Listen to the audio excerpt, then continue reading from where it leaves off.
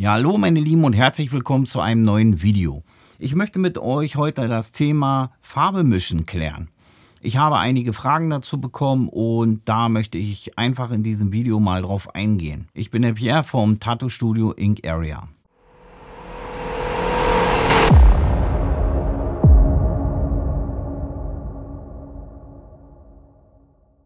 Ja, wir reden hier in, hauptsächlich über bunte Farben. Ja, über das Black and Gray Mischen habe ich, glaube ich, schon ein Video gemacht. Falls nicht, schreibt es mal in die Kommentare, dann hole ich das gern nochmal nach. Aber wir reden heute über bunte Farben. Ich glaube, der ein oder andere hat schon seine Erfahrungen mit bunten Farben gemacht und die sind vielleicht bei dem einen erschreckend gewesen und bei dem anderen hat es vielleicht gleich funktioniert. Auch die der Glaube über bunte Farben, das ist ja auch so, ja, Instagram und Co. suggeriert uns ja, Mensch, kauf diese Farbe und du wirst diese Bilder machen. Lasst euch nicht immer gleich blenden, schaut einfach mal, nehmt so ein buntes Tattoo, was ihr dort seht, nehmt das Bild und zoomt das mal rein. Schaut mal, ob ihr da noch irgendwelche Hautporen zu sehen sind oder irgendwelche, ja, Leberflecke und so weiter oder ob die Haut überhaupt noch eine Struktur hat. Falls das nicht so ist, lasst es euch nicht, äh, ja, ich kenne das Gefühl selber, man schaut sich bei Instagram und Co um und man hat irgendwie das Gefühl, man kann gar nichts. Aber heutzutage ist es ja so, es gibt Filter für alles. Ja, ich kann auch aus mir einen 20-jährigen knackigen Südländer machen, nur mit einem Filter. Also glaubt auch nicht immer alles, was euch da so gezeigt wird. Das nur mal so ein Tipp am Rande. Am Ende kochen wir alle mit Wasser. Aber weiter im Text. Bunte Farben. Es ist völlig egal, welchen Hersteller ihr euch da nehmt. Ob es nun Vikings Farben sind, ob es World Famous Intense oder Raw Pigment. Ihr habt immer irgendwelche Farben dabei, die sind dick wie Honig. Vielleicht nicht gleich, aber wenn ihr die ja drei, vier Mal geöffnet habt und habt Farbe davon genommen, dann wird sie halt immer dickflüssiger. Das ist einfach so. Und es gibt keine Farbe, wo das nicht ist. Hauptsächlich ist mir das aufgefallen bei Farben, die aus reinen Pigmenten hergestellt werden, also aus Pulver. Dort ist mir das schon öfter aufgefallen, aber es gibt ja auch Farben, die werden einfach, dort wird sich Grundfarbe gekauft und dann werden da diese Farb Töne zusammengemischt, dann kommt noch Lösungsmittel oben drauf und dann habt ihr eine Farbe. Diese haben aber oftmals einen ultra hohen Weißanteil und wie schwer Weiß in die Haut geht, das wissen wir nun alle. Ich bevorzuge immer Farbe, die aus rein Pulver hergestellt wurde. Das sind zum Beispiel Intense, World Famous, dann Raw Pigments. Da gibt es sicherlich noch andere.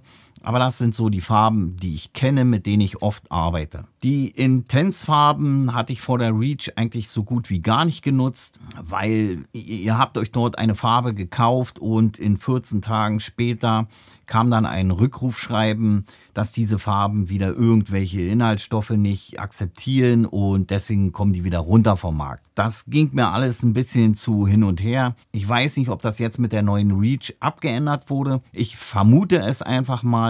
Intense ist wirklich eine super gute Farbe, aber ich nutze sie halt nicht. Ja, die letzten acht Jahre oder so war World Famous mein Favorit. Ich habe damit super gern gearbeitet. Es ist eine sehr schwierige Farbe. Oftmals täuscht man sich, man denkt einfach, man bekommt überhaupt keine Farbe rein. Dann ist die Chance immer wieder rein, immer wieder rein und man irgendwann platzt die Haut. Und dann nach einer ganzen Weile ist die Farbe auf einmal doch da. Also World Famous ist schon eine Farbe mit, mit Tücken.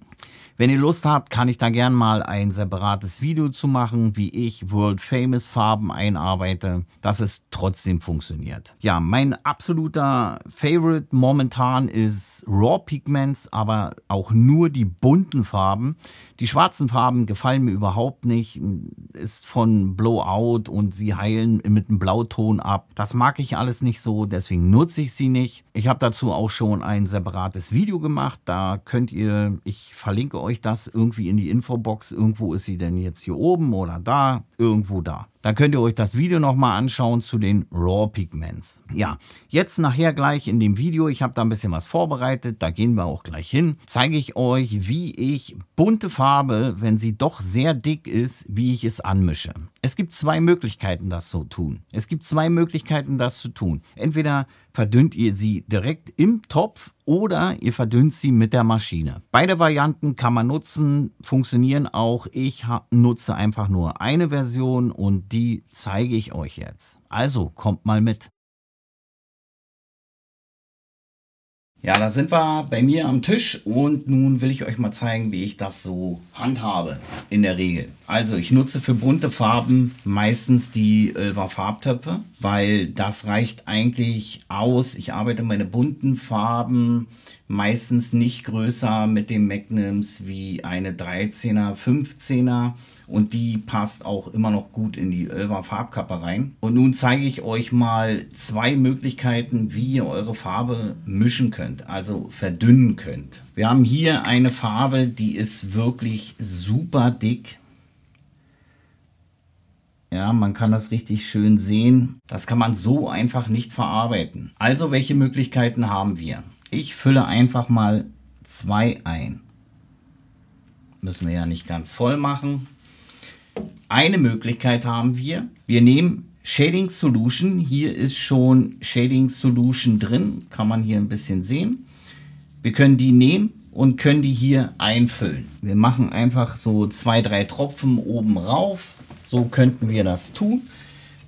Dann können wir einen Farbmixer nehmen. Die gibt es übrigens bei mir im Shop und könnten die Farbe einfach etwas anmischen so dass sie etwas flüssiger wird. Ich mache das nicht so. Ich mache das nämlich direkt mit der Maschine.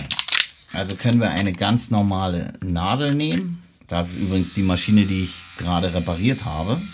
Das Video dazu ist bei YouTube drin. So, wenn ich jetzt solche dicke Farbe habe, dann gehe ich meistens hier rein, nehme mir die Farbe auf, so gut es geht und gehe dann einmal kurz hier rein. Und schon habe ich automatisch dünnere Farbe, mit der ich wunderbar arbeiten kann. Das ist eigentlich das komplette Hexenwerk dazu. Und umso dünner, umso mehr gehe ich da rein. Also nehme ich mir die Farbe auf, gehe einmal kurz hier rein und fange an, sie einzuarbeiten. Wenn ich merke, es ist mir nicht dünn genug, dann tauche ich halt zweimal ein. Oder wenn ich merke, oh, sie ist doch sehr dünn, dann tauche ich nur ganz kurz ein. Das kann ich halt einfach variieren, indem ich kurz reingehe oder ich gehe etwas länger rein und mein Farbtopf der bleibt 100% so, wie er vorher war. Ja, wie gesagt, alle Artikel bekommt ihr natürlich auch bei mir im Shop. Ich habe jetzt seit neuestem auch die Inked Army Kappen, die hängen ja auch bei mir an der Wand. Die Kartons sind noch eine ältere Version. Ja, die Shading Solution, die Farbmixer und so weiter gibt's alles bei mir im Shop. Den Shop, den verlinke ich euch unten unter der Videobeschreibung und sage hiermit wieder,